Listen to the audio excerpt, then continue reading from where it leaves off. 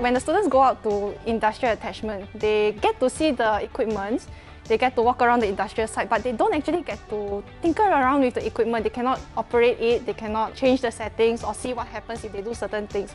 Whereas if we do it in VR, we can actually bring the industry to them, let them play around with the different parameters and see what happens if they do certain things in a certain sequence. I mean, the reactor can explode in your face and nothing happens to you, right? So it doesn't matter.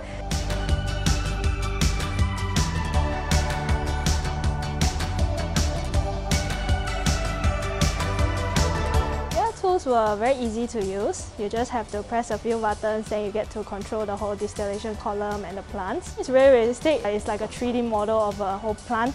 You can look around and you even have to like climb the columns if you want to reach a certain valve. And uh, I think it really looks like a real plant.